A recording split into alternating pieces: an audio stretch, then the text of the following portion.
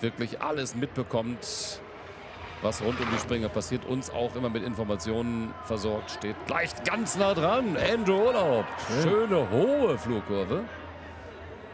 Sind die Gunst der Stunde genutzt, ein bisschen ruhigere Bedingungen erwischt, Sprung geliefert und dann macht das hier Spaß. Morgen soll es deutlich voller werden, haben wir von Inken Pallas gehört, die für uns vor Ort ist mit Markus Simon und natürlich auch, ja, nicht unbedingt schlottert heute. 6,5 Grad haben wir gesehen. Es ist sehr, sehr wenig Wind. Das ist aber gut so, Sven, denn die Anlage ist nicht wirklich windgeschützt. Ja, also so die Masten für Licht sehen wir alle, aber